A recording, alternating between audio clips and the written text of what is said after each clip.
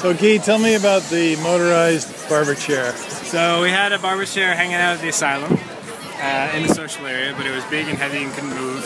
Uh, we've got to constantly tear stuff down in the space, so we wanted to motorize it, put it on wheels.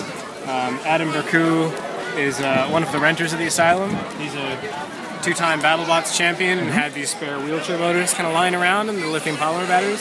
So he and I teamed up for about six hours on a weekend, and we put this thing together in kind of record time. That's awesome. Yeah.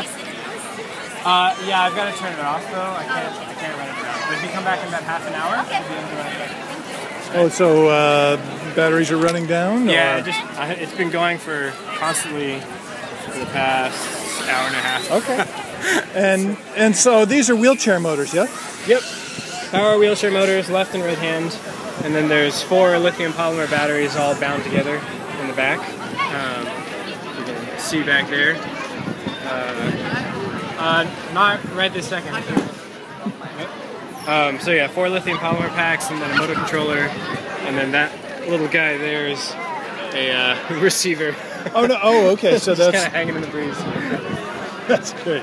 Not quite the safest contraption, but you know, it, it gets the job done. But what the heck? It's fun, and a lot it, it, a lot of people enjoy it. And Yep.